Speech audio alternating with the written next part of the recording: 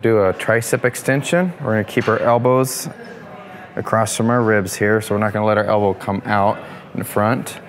So we're gonna keep them pinned right there. Tighten your core and push down and around your hips. Get full extension out of the triceps. Keep your head straight.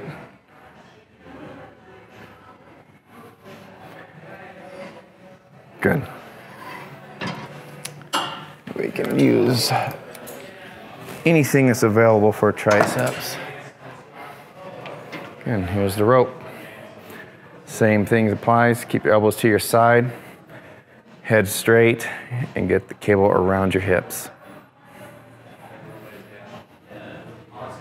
Good.